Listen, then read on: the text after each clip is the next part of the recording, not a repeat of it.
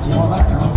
En vacances de toi, et comme l'amitié nous rattrape, nous rattrape à chaque fois. Autant te dire quand ça verra.